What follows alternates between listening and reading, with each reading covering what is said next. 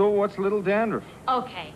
Imagine you're at the social event of the year, and your dream girl says hello, just as you do this. Her first impression? What a hunk. Only a few flakes. Give me a break. The breaks are you never get a second chance to make a first impression. So, Try this. head and shoulders? But you don't have dandruff. Your hair looks great. Bingo.